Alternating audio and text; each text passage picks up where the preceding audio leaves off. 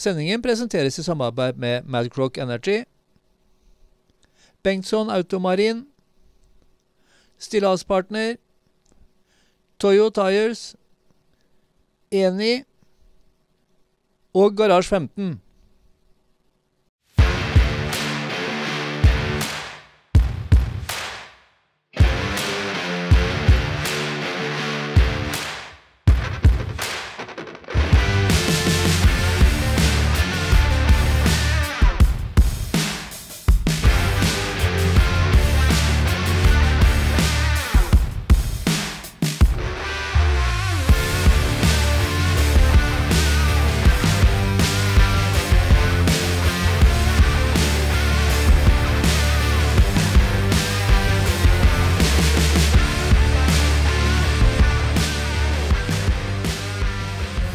til nok en sending fra Racing NM sitt eget TV-studio. Og Jeg er jo veldig glad i motorsport, blir veldig glad av det, og i dag så blir jeg litt ekstra glad. Vi skal prate om to ting som er gøy og viktig. Først ut så skal vi snakke litt om unge talenter, Helen. Ja. Dem begynner vi å få veldig veldig mange av her i Norge innen racing, så det er, setter vi stor pris på. Ja, og det er ganske gode talenter vi begynner å få. Vi har med oss to stykker bak her. Veldig unge, gjort seg godt bemerka i Norge, men de skal også ut i den store vide verden. Ja, Nå blir det spennende å høre om hva Isabel Rustad og Emil Gjerdrum har å si. Vi gleder oss til det. Så skal vi også snakke litt om en annen ting, Helen, og det er Formel Basic og Formel Ford. Ja. Fortell litt om det òg, Helen. Ja, Formelbil er jo blitt veldig veldig populært. Der har vi kanskje litt Dennis Hauger-effekten med oss, så det skal vi høre mer om. Open Wheel Racing, mine damer og herrer. Litt mini-Formel 1. Følg med. Først skal vi sette over til uh, Bilsportforbundets egen sportssjef, Atle Gulbrandsen, med litt info om unge talenter og førerutvikling. Vær så god, Atle.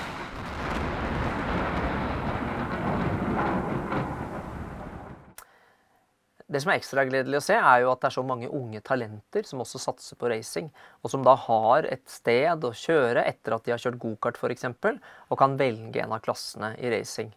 Og To gode eksempler på det er jo f.eks. Isabel Rustad, som har, da, har kjørt GT-klassen i Norge og lært seg racing der, og som nå går videre og skal kjøre Sprint Challenge med Porsche i Sverige. Og i tillegg da fortsette å kjøre litt uh, i Norge for å få mye kjøretrening. Og så har vi Emil Gjerdrum, som også har kjørt flere klasser i norsk racing, bl.a. Formel Basic, og har da lært seg det grunnleggende. Og nå tar Emil steget da ut i den store verden. Har allerede kjørt litt i Spania og Portugal nå i vinter, og skal kjøre i Tyskland til sommeren. Så det er også veldig gøy å se da at racing-NM kan være et springbrett for unge talenter som ønsker seg en internasjonal karriere.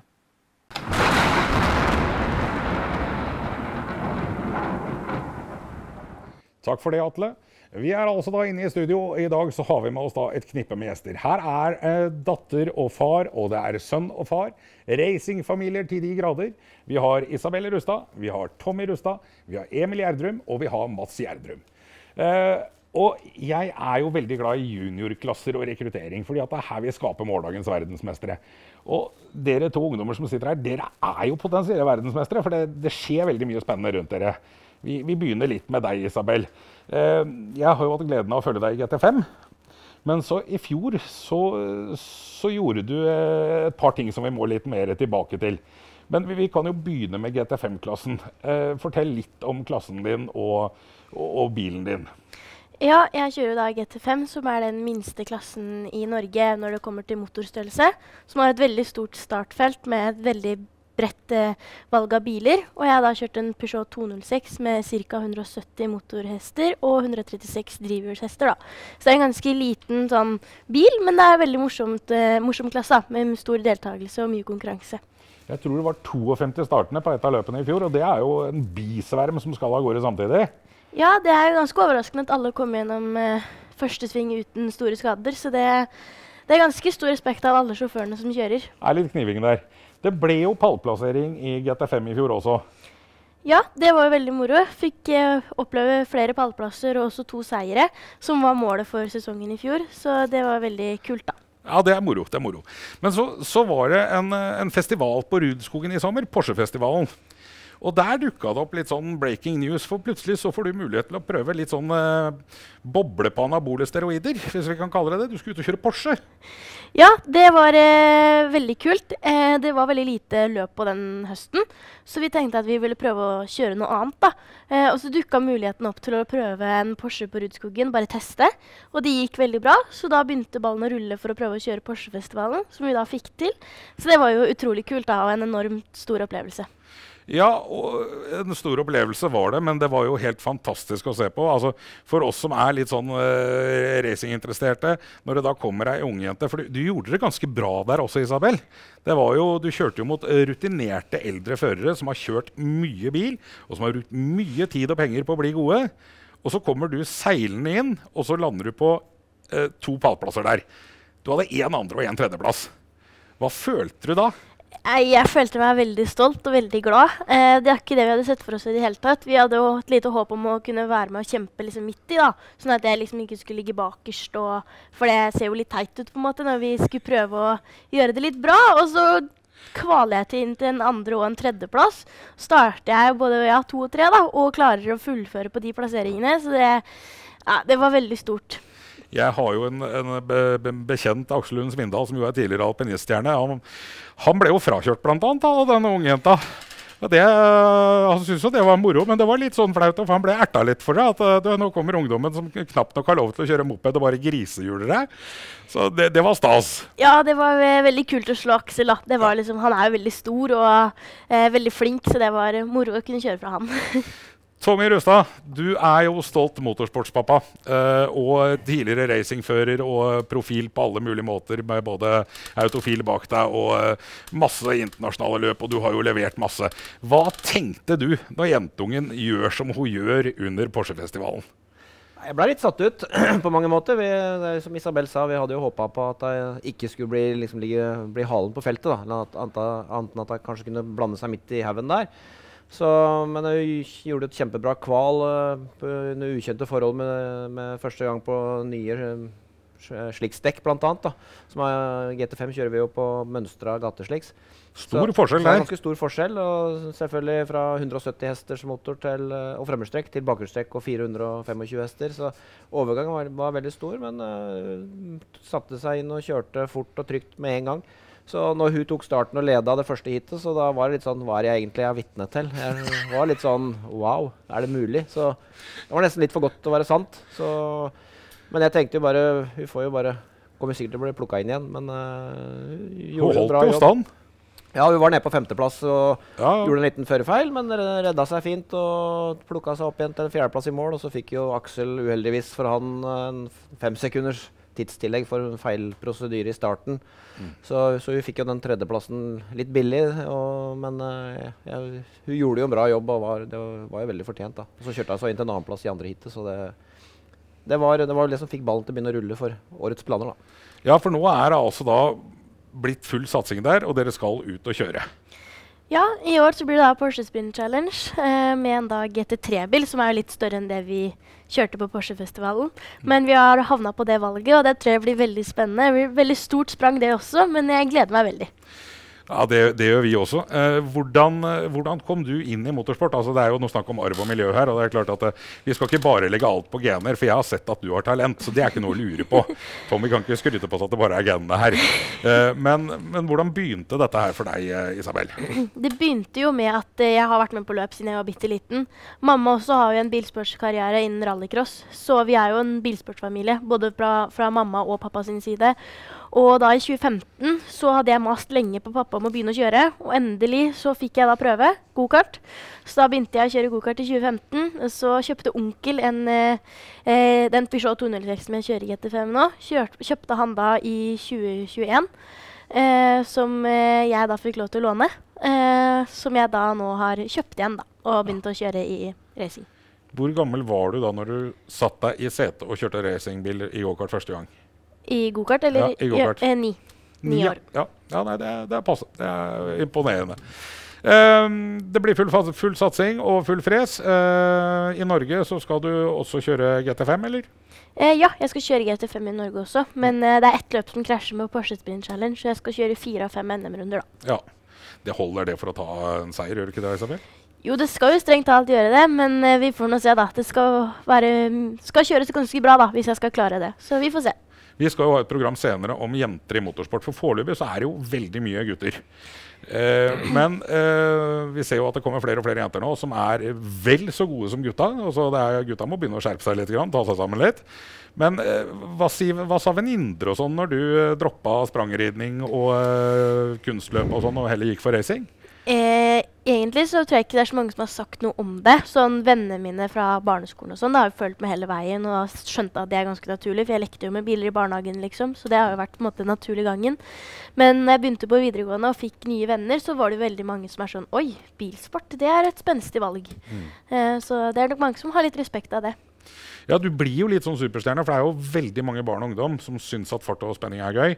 Og det er klart at Når du da kjører racing og gjør deg godt bemerka, og du òg er jo en kjempeambassadør for både norsk ungdom og sporten, så tommel opp, Isabel. Vi gleder oss til å følge deg på ferden videre. Og så skal vi skryte litt av disse motorsportsfedrene òg. For jeg er jo veldig glad for at det fins fedre som backer ungene i annen idrett enn fotball og langrennsski. Så kudos til deg også der, Tommy. Jo, det er jo litt sånn at det er jo Men hun må jo først og fremst ha gløden og interessen sjøl. Det hjelper jo ikke om jeg dytter henne foran meg, det kan jeg gjerne gjøre, men hun må jo ha gutsen og viljen uh, sjøl og må jo jobbe hardt for å lykkes med det, den jobben hun sjøl skal gjøre. Så, Det er derfor jeg har valgt å gå på Vang toppidrett også, for å utvikle seg som idrettsutøver. da, i form av det, Du lærer jo alltid fra riktig kosthold, uh, mentaltrening, uh, sove riktig, altså nok hvile. Så det er jo, hun, hun må jo ha gløden sjøl, så skal vi backe opp så godt vi kan. Det er en pakke som skal på plass hvis den skal bli best. Det er ikke noe å lure på. Ja, Det er mange elementer. altså Bilkjøringa er som jeg sier, bare 5-10% av jobben. Det er jo alt rundt det som er krevende. Uh, men vi har jobba målbevisst nå i vinter med potensielle nye sponsorer og eksisterende sponsorer og fått på plass et opplegg for å kjøre denne Sprint Challenge. Da, så det blir veldig spennende. Så er vi litt usikre på om vi kanskje har gapt litt høyt litt fort, men uh, vi prøver. Tror ikke det. Tror dette går fint. Én ja. ting til, Isabel. Ditt beste racingminne, hva er det? Eh, det er litt vanskelig å si, men eh, jeg var veldig stolt med min, med min første seier i GT5. Det husker jeg. Det jeg var eh, Jeg husker at du intervjua meg og sa at dette er det verste jeg har vært med på. For det var det òg. Jeg var så nervøs. Men det er også det beste jeg har vært med på. Og så tok jeg også en seier da, på Hvaløybanen når jeg kjørte meg fra niende til førsteplass på regn. Det også synes jeg var kjempekult. Det var bare et mororeis. Da var jeg ikke noe nervøs. Der var bare alt kjempegøy. Så det også var gøy. Ja, for jeg husker etter første seier så sa du at jeg håper at jeg kan bevise at dette ikke var flaks. Og det har du jo bevist. Ja, takk. Vi skal over til en annen ung kommende superstjerne. Emil Gjerdrum. 15 år gammel. Ja. Uh, om begge dere så kunne vi jo lagd et timeslangt program, men dette er jo ikke dette er ditt liv. Men uh, vi får begynne med deg, Emil. Hvor, hvor var det dette starta hen for ditt vedkommende? Nei, altså jeg ble jo, Pappa har jo alltid også drevet med racing, så jeg var jo med på faktisk racing-NM fra jeg var bare noen uker gammel, liksom. Så jeg har jo på en måte alltid vært på racerbanen og sett opp til eh, pappa på en måte og tenkt at dette har jeg også lyst til å kanskje drive med en gang. Selv om han har drevet med det mye på hobbybasis da, i forhold til eh, Tommy f.eks. Eh, men eh, fortsatt så har det alltid på en måte vært Jeg har alltid vært veldig bilinteressert og eh, ja, jeg har aldri på en måte tenkt at jeg har lyst til å drive med noe annet på en måte enn. Nei, altså Det er jo kjempeålreit, for det er jo viktig med, med rollemodeller for uh, når man vokser opp. Og det er klart når fattern da blir rollemodell i en så morsom idrett som bilsport, ja. så er jo grunnlaget lagt ganske bra. Eh, den karrieren som du eh, har bak deg allerede nå, og det året som kommer, er jo ganske, ganske imponerende. du skal kjøre ikke mindre enn fire klasser i år. for du skal kjøre ja, ja har jo i hvert fall kjørt GT Winter Series allerede. Ja. Og så skal jeg kjøre europeiske mesterskapet i GT4. Og så skal jeg kjøre det tyske mesterskapet som går liksom med DTM og sånn. Ja. Eh, og så ja, Jeg har vel egentlig ikke noe mer plan enn det. Kanskje jeg tar et innhopp i racing-NM eller et eller annet, men eh, ikke noe foreløpig. Ja, for jeg har altså notert meg da um, uh, Norsk Formel Basic Formel Ford. Uh, ja, altså alt kan jo skje. da I fjor så skulle jeg jo egentlig først bare kjøre GT4, og så ble det jo fire klasser til, liksom. Ja. Så det blir jo litt sånn, men uh, ja. Så da ble det jo 22 løp på en måte i fjor, så det ble jo ganske mye for Men det var jo også fint, for å Vi tenkte liksom at det var fint å få mest mulig kjøretrening på kortest mulig tid, da. For å få erfaringen som de andre har på kortere tid, på en måte. Ja, og du, du har jo også kjørt internasjonalt, for du har jo kjørt uh, Adak Touring Car Junior. Ja. Eh, og nå driver du og Du har testa en del, og du har eh, skrevet kontrakt med Mukke Motorsport er i GT4 internasjonalt. Ja. 15 år gammel skal du ut i verden og kjøre en Mercedes eh, AMG GT. Ja. Eh, det er ganske stort. Eh, jo, det er det. Eh, jeg er jo på, en måte, på mange måter stolt av det, samtidig som at jeg ikke kan tenke for mye på det. For jeg kan liksom ikke sette meg inn i bilen og tenke at oi, det her er liksom nå er det Lamborghiner og Ferrarier og alt mulig rart rundt meg, men jeg må få, på en måte fortsatt fokusere meg på racingen og ikke alt rundt, da. Selv om det er mye rundt med Altså mye fans og mye sånn rundt, men jeg må fortsatt på en måte konsentrere meg veldig mye om å kjøre fort, da. Ja, og, og, det teamet altså du har, jo levert, uh, du har jo levert mye bra så langt, men det teamet er jo ganske spesielt. For det har jo vært litt sånn stjernefabrikk. De har eh, 36 fabrikksførere, de har 12 Formel 1-førere og 24 førere til Le Mans. Ja, sånn de har produsert i hvert fall. Så Ja. er jo, de har jo hatt førere som eh, Lando Norris, Sebastian Vettel, Sergio Perez eh, og mange, mange, mange andre sjåfører, da. Og hatt eh, eks-Formel 1-sjåfører i DTM, f.eks., som eh, David Coulthard og Ralf Schumacher og sånn. Fortell, eh, fortell litt om bilen. Eh, den er jo ganske spesiell. Og farven også. Det er jo samme farvel som eh, Force India Formel 1-teamet, som på et tidspunkt kjørte i Formel 1. Eh, fortell litt om den bilen, eh, Emil. Eh, jo, det er jo en eh, Mercedes AMG GT4-bil, som er en renspekka racerbil eh, basert på eh, Mercedes sin GTR-bil, som den såkalt heter. Eh, og eh, den har 550 hester. Eh, veier eh, 1400 kilo, tror jeg. Eh, og så er den rosa. Ja, den, den syns jo godt i teigen. Jeg har sett et teambilde av deg og, og bilen, og det, Ja. det er jo grisefett. Ja, det er det.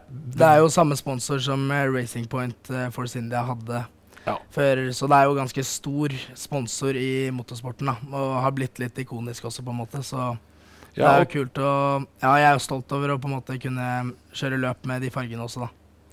Ja, og teamet har jo god støtte i, eh, i Mercedes eh, AMG Factory-teamet. Ja, ja de er jo et såkalt uh, semifabrikksteam, på en måte, da. Ja. De drev jo på en måte Eller de drev jo AMG sitt DTM-team før. Så de het jo ikke Mykke en liten periode, de het bare Mercedes AMG, fordi det var de som liksom sto for alt. Eh, så det er jo et ganske stort team. Eh, de har i år ikke De deltar i år ikke i DTM pga.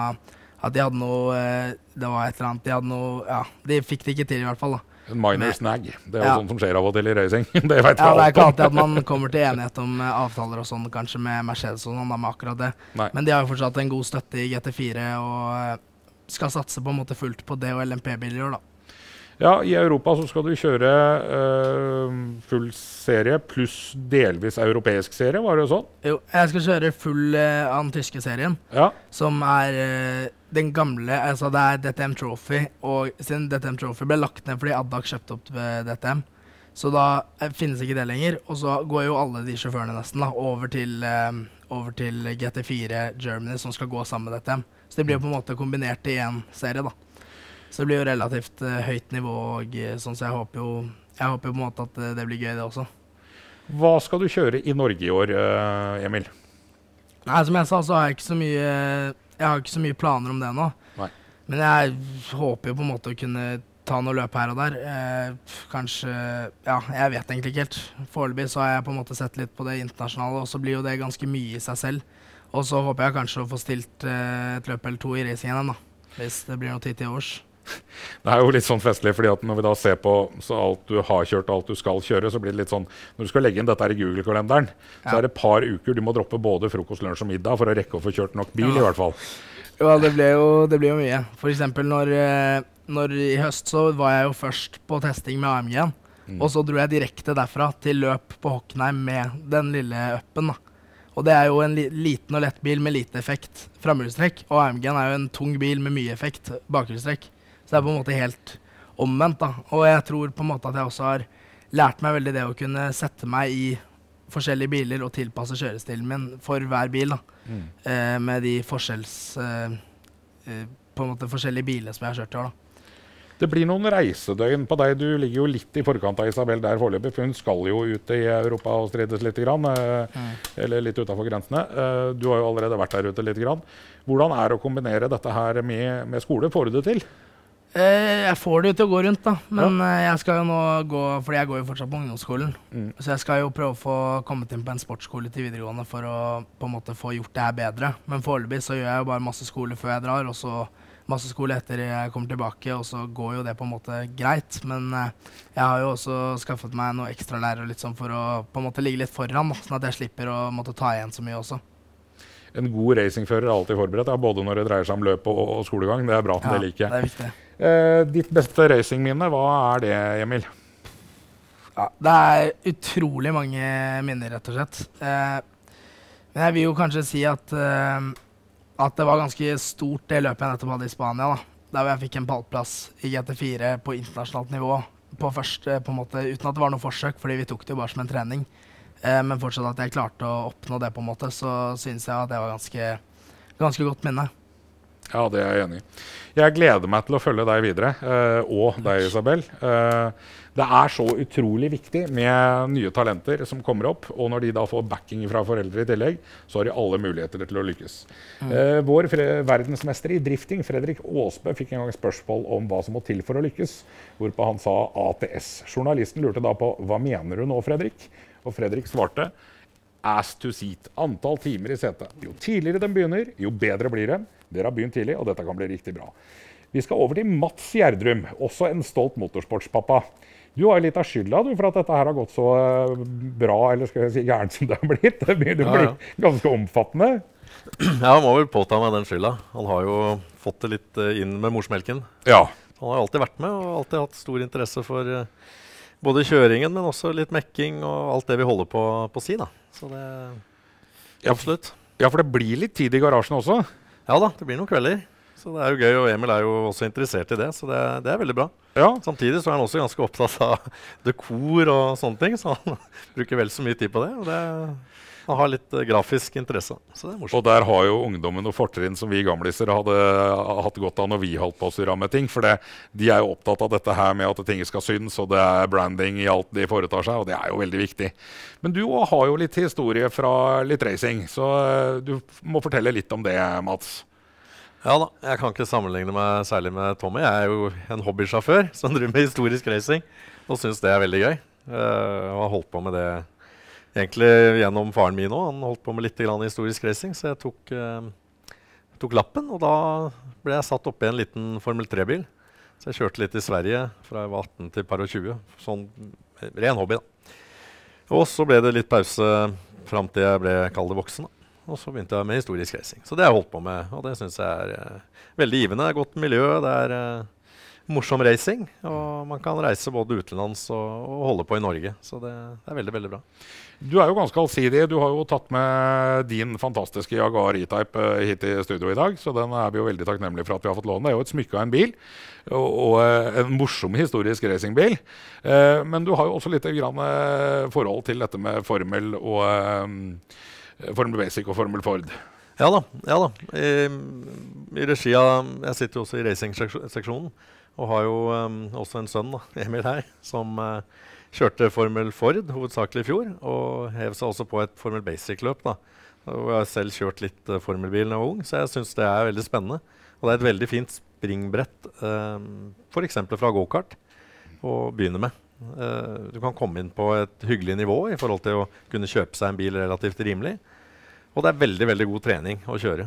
Veldig, veldig bra. Så det vil jeg anbefale. Og også videre nå så håper jeg det kommer mye flere som, som går den veien også. Selv om det er veldig gøy at det blir masse biler i GT5.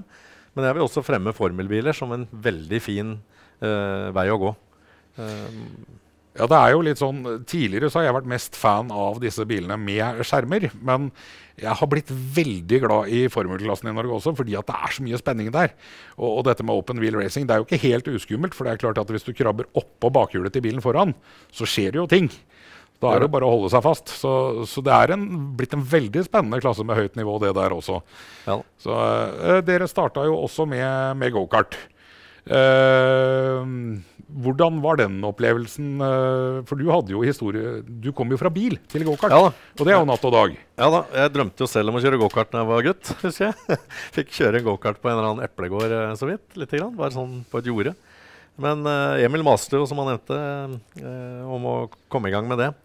Og, mm, så vi kjøpte en gokart når Emil var vel akkurat fylt åtte. Men jeg hadde jo ikke noe erfaring, så det var litt utfordrende. Så vi brukte vel sikkert et par år på å bare forstå litt grann hvordan ting fungerte. Og har vel egentlig holdt på på et relativt sånt amatørnivå. De siste par årene så gikk det litt bedre etter hvert, som man lærer ting, da. Så det er veldig givende og veldig godt miljø. Jeg vil jo tro også at Emil har noen av de aller beste vennene sine fra det miljøet. Det er utrolig bra. Ja, for miljø det er viktig i racing, og det kan jo både dere ungdommen og også du, Tommy. Du har jo hatt noen år i paddocken på, eh, på motorsportsbaner rundt omkring.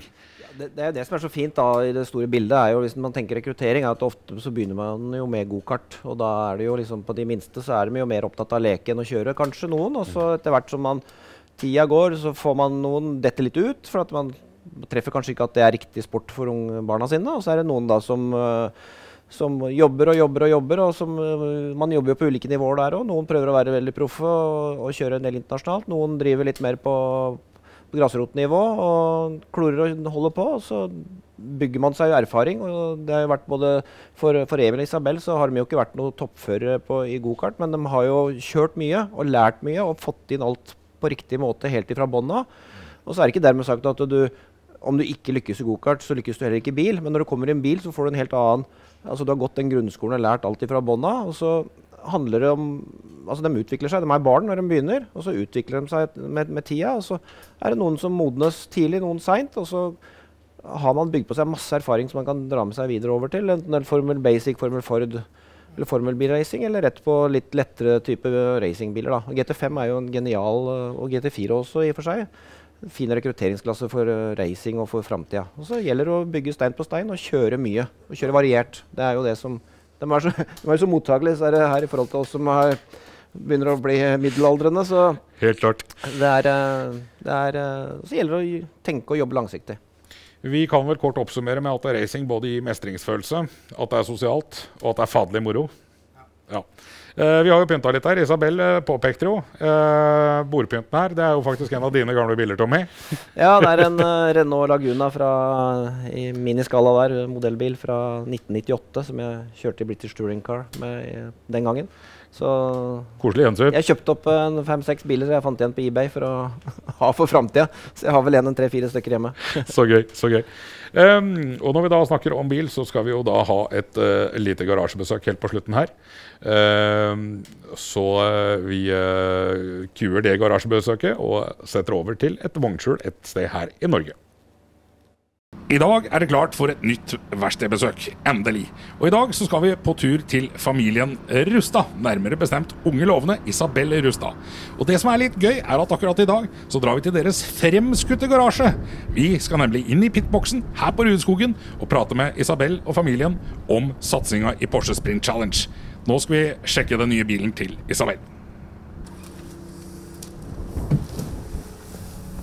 Vi har altså da kommet oss inn i familiens Rusta sitt verksted. Det si, det er ikke helt sant, for vi er altså som sagt da på Rudskogen i en pitbox.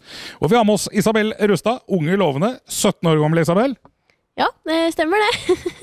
Og, og det er jo veldig gøy, fordi at nå har jo vi fått lov til å komme hit på Rudskogen. Normalt så drar vi jo hjem til folk når vi skal på garasjebesøk.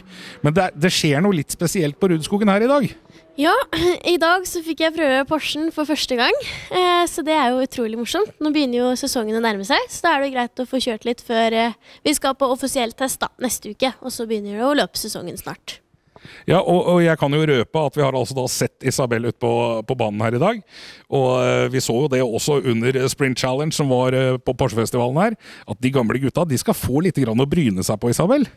Jeg håper jeg kan gi dem litt konkurranse, da. Men eh, jeg, er ikke, jeg er ikke med i klassen i år for å vinne. Det er mest for å lære og bli kjent med de svenske banene og bilen og alt mulig. Eh, og så skal jeg jo kjøre GT5 i tillegg, da. Så ja, jeg hadde jo syntes det vært morsomt om jeg kunne gi dem litt konkurranse. Men vi får jo se. Jeg har jo aldri kjørt mot dem før, så jeg aner ikke hvordan det kommer til å gå. Nei, for dette var første tur med denne bilen.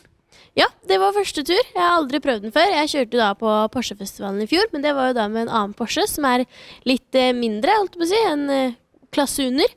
Så ja, det er en brutal bil. Det er det. Hva snakker vi av effekt i det beistet som du kalte den bak oss?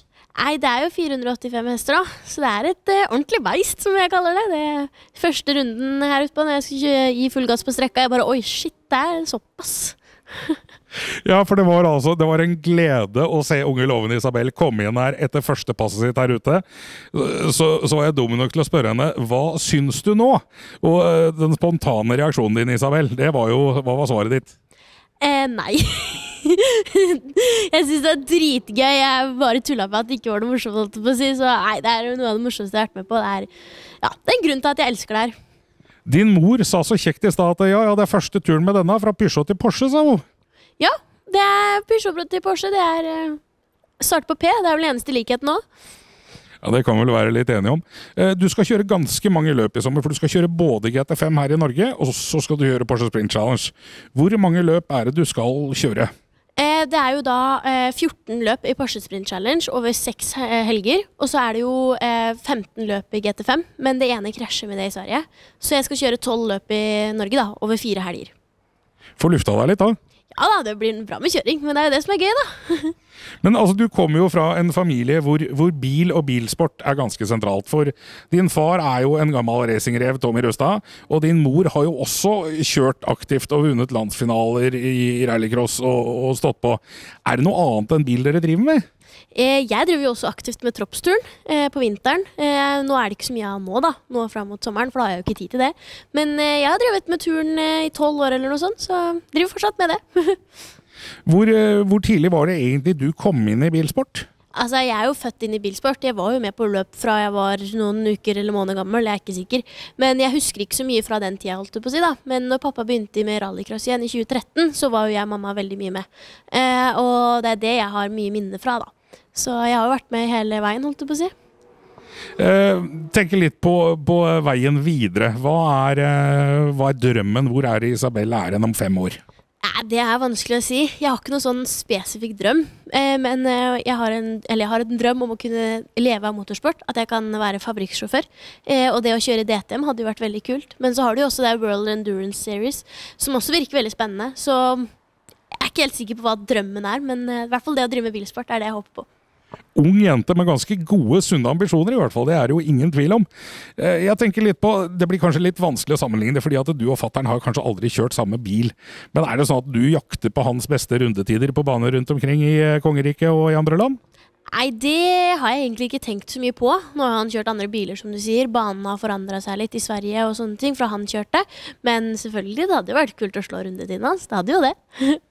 Er, er det sånn at vi på et eller annet tidspunkt får se kanskje Tommy og deg kjøre Peugeoten eller Porsche for å se hvem som setter beste rundetid, eller?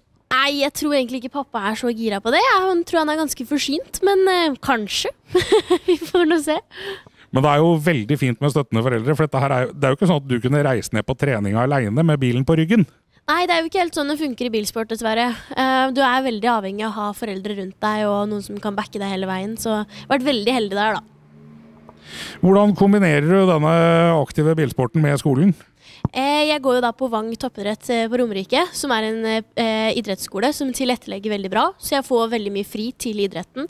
Eh, jeg kan også ta vurderinger seinere hvis jeg går glipp av de for idretten. holdt jeg på å si. Så de tilrettelegger veldig bra. Så jeg får det til å funke på en god måte, egentlig. Veldig, veldig bra. Er det noen spesielle i eh, Porsche Sprint Challenge du har sett deg ut som du har tenkt at eh, han skal jeg i hvert fall ta? Nei, det er jo litt vanskelig å si, da. Men jeg veit at William Siverholm skal kjøre. Som eh, er eh, 17 år gammel, han også. Blir 18 i år. Og vi kjørte jo sammen på Porsche-festivalen. Og han vant i begge løpa når jeg kom på andre og tredje. Så mm, det hadde jo vært litt eh, Han er egentlig en av de få jeg veit om skal kjøre også. Men det hadde vært litt kult å slå han, da. Når han vant hele mesterskapet i fjor. Svenske kongehuset, skal de passe seg litt òg, eller? Tja, vi får nå se. Hadde jo vært morsomt om jeg klarte å slå han også, da. Men eh, ja, jeg vet ikke hvor mange løp han skal kjøre. Han kjørte jo ikke alle løpene i fjor, men eh, regner med at han skal kjøre noe. Så vi får se. Prøv å gi han litt konkurranse etter hvert, kanskje. Hvordan, hvordan vil du beskrive forskjellen fra overgangen GT5 til den Porscha bak oss, Isabel? Eh, det er jo en veldig stor overgang, eh, men sånn, eh, hvis du tenker på farten, så merker du ikke så mye, egentlig. For du blir liksom fartsblind mens du kjører. Sånn De første rundene, liksom, sånn som nå, så merker jeg det fortsatt. Men jeg veit at det, når jeg kjørte Porschen i fjor, så blir du litt fort vant til det. Du tenker ikke så mye over at du kjører i 200 km i timen i kontra 180, da. Eller 210 og 180. Eh, men eh, det som er at jeg egentlig syns det er litt å gå tilbake til karting, det å kjøre eh, Porsche. Fordi du går jo tilbake til bakhjulstrekk og sånne ting. Så det blir litt mer likt karting igjen, da, egentlig. Det rattet ditt det er jo ganske avansert, for det er jo et heidundrende TV-spill i seg sjøl. Hvordan er det å holde oversikt over alt det greiene der? Jeg har ikke lært meg alle enda, men jeg har lært meg de viktigste. Og så kan jo pappa en del av de, og det kan jo teamet også, så det er bare å spørre på radioen da, hvis jeg trenger noe hjelp. holdt jeg på å si. Men ja, jeg har lært meg det viktigste. Ja, og nå har du jo som sagt ikke hatt veldig mye tid i den bilen enda. Nei, jeg har vel kjørt to pass nå, så ja. Flere skal det bli. Ja, og det som er litt gøy, da, er at jeg har jo fulgt litt med på, på rundetidene dine, og så ser jeg det at eh, i stad Du kjørte jo eh, bracket racing, som vi kaller det i drag racing, fordi at du kjørte jo rundetider som var spot on hele tiden. Jeg gjorde det, kanskje. Ja, jeg fikk ikke rundetider, så jeg har ikke fått med meg det, for å være ærlig, for den logger ikke. Men eh, ja, jeg veit at jeg kan jobbe ganske mye med for å senke de, men eh, det er jo bra at jeg kjører jevne rundetider, da. Jeg mener det var 1.30 eller 1.31, og så plutselig så var vi nede på 1.29, så det er tydelig at du begynner å bli litt mer kjent med bilen. Ja da, jeg gjør jo det. Begynner å pushe mer og bremse seinere og gass tidligere, så blir det bra. Hvor mange er det som er med i teamet deres? Er det flere enn mutter'n og fatter'n nå? Eh, ja, vi skal jo kjøre for Fragus i år, så vi er jo eh, er en del av dem nå. Og der er det jo flere biler og mange rundt, både ingeniører og mekaniker og sånne ting. Så jeg tror vi blir et stort team. Vi har ikke møtt alle ennå, men vi har møtt eh, liksom de som sitter øverst, holdt på å si, og snakka med ingeniørene, og det virker som et veldig bra team. Så jeg gleder meg til å bli bedre kjent med de og være med dem i, i løpet av året. Det er jo en del mer teknikk i den her enn i den andre bilen på P. Eh, ja, det er det. Det er mye mer knapper og mye mer å holde styr på. Eh, men eh, ja, det lærer seg til det òg. Ja, for det er ikke sånn, dere har ikke raceingeniører på Peugeot? Eh, nei, vi har ikke raceingeniører. Der gjør pappa og onkel det meste på bilen, egentlig. Fordi ja, onkel kjører jo også Peugeot, så og mamma selvfølgelig er også med, da. Men hun er kanskje ikke så mye på den tekniske biten. Men eh, jeg har på en måte to ingeniører der òg, da. Men eh, ja. Har du flere venninner som, eh, som har kjørt uh, racing med deg parallelt opp igjennom uh, i karrieren? Ja, jeg har jo mange jentevenner fra gokarten. Og så er vi jo flere jenter nå i eh, GT5, som jeg har blitt kjent med når jeg begynte i GT5. Eh, de andre jentene som jeg har kjørt med, har, noen er fortsatt igjen i karting, noen har gått over til formelbil, noen har gått over til eh, andre type biler, da. Så ja. Eh, tenker på denne overgangen til Porsche Sprint Challenge, for det er, det er jo ordentlig bøllete og kult, det du skal ut og kjøre nå. Og hvordan var det dette her kom i stand, egentlig, at du fikk muligheten til å prøve, dette her? Eh, det starta med at eh, mamma og pappa og jeg syntes at vi kanskje skulle kjøre litt lite på høsten. Jeg lurer på om det var snakk om to løp i GT5. Og så tenkte vi kanskje vi skulle prøve å snike inn et løp til. da. Eh, og så begynte vi å se på å kanskje kjøre DS3 Cup i Danmark, eller å kjøre her da på Porsche Sprint Challengen. Men så tenkte vi at pappa så litt på rundetidene og tenkte at det her er kanskje litt for tøft. Men så kom vi i kontakt med Christian på Rudskogen her, og fikk prøve de event-Porschene. Og så tilfeldigvis var Erik Lynne her, så vi fikk prøve hans 718 Cayman. Eh, og da var jeg ganske raskt nede på rundetid, så da tenkte vi at nei, men det her må vi prøve å få til. Så fikk vi med oss Porsche Center Zone og eh, Porsche Norge og HTB Racing til å samle sammen et budsjett, og så fikk vi kjørt Porsche Sprint Challenge da, her på Porsche-festivalen. Det er jo kjempegøy, og, og jeg skal skryte litt, eller jeg skal skryte mye av deg. Det skal jeg gjøre. Fordi at jeg digger jo at vi har unge førere som er så dyktige som deg. Og så vet jeg jo nå, fordi at jeg har jo alliert meg litt med dine foreldre, så når jeg har sett på rundetidene, og så har vi sammenligna med racing-NM her på Rudskogen, så er det to stykker i GT1 som kjører fortere enn deg. Og det betyr at det kan jo bli spennende å se om vi kanskje får se Isabel der etter hvert òg. Ja, altså vi har vært litt inne på det. Bilen går jo inn i GT1, men eh, det er ganske dyrt, da. Med driftsbudsjetter og dekkostnader og bensin og alt det her. Så jeg tror nok det blir GT5 i Norge. Viggo Dalmo i den Audien, du må passe deg litt, for du er en av svært få som ligger foran rundetidene til Isabel Rustad. Hun er bare 17, og du er litt eldre, så her må du passe deg, for det kommer ei prinsesse, og hun kommer for å ta dere. Så eh, er det noe du vil avslutte med, Isabel? Noen spesielle du ønsker å takke? Jeg må jo takke mamma og pappa og onkel, ikke minst, eh, og sponsorer, da, som er med på å gjøre det her. Så det er mulig. Og det setter jeg veldig stor pris på, at alle backer meg så mye. Uh, er, det, er det noe spesielt du ønsker å si til publikum der ute? Eller til eh, andre som er litt nysgjerrig på denne idretten du driver med? Det er bare å komme og prøve å kjøre, og komme og se på. Det er uh, veldig morsomt. Kommer ikke til å angre hvis du begynner. Eh, det var litt grann utfordringer med bilen nå i stad. Ja, jeg er litt usikker på hva det er for noe, men eh, det er noe, noe fuel pressure som ikke er helt på stand, så da får håpe at vi får fiksa det. Da tenker jeg at vi får eh, ta og runde av, sånn at Rustad-klanen kan få lov til å skru ferdig. Og med det så setter vi tilbake til studio, og minner dere selvfølgelig på å følge med på unge lovende Isabel Rustad og hennes satsing i både Porsche Sprint Challenge og GT5. Dette her er ei racingprinsesse som har kommet for å straffe de litt eldre førerne. Følg med! Nok et garasjebesøk der, altså. Og det er jo en kilde til inspirasjon. Og det er jo dere ungdommene også. Jeg er kjempestolt av at vi har representanter som dere for norsk motorsport. Eh, det blir veldig veldig gøy å følge dere videre. Eh, jeg regner med at det er noen pappaer også som er ganske stolte, og noen mammaer. Jeg vet at det er noen av dem der òg. Vi fikk ikke plass til hele familien i studio her, dessverre. Da hadde det jo vært, eh, blitt ganske trangt om plassene. Tusen hjertelig takk for at dere tok dere tid til å komme. Lykke til i 2023. Tusen takk. Jeg sier bare én ting. jeg. Gjerne ta dem. Dette får dere til. Jeg har kjempetrua på dere. Takk, takk. Og med det så kan vi takke for nok en sending. Eh, Vi minner om at det kommer et nytt program neste gang. Da skal vi snakke om historisk racing og GT3. Så følg med, ikke gå glipp av det heller. Det er også veldig moro. Historisk racing det er litt som en sånn blanda dropspose. Og det er bare gode drops oppi der, for der er det mye rart. Blant annet Jaguaren til Gjerdrum. Følg med i neste program. Takk for meg fra studio.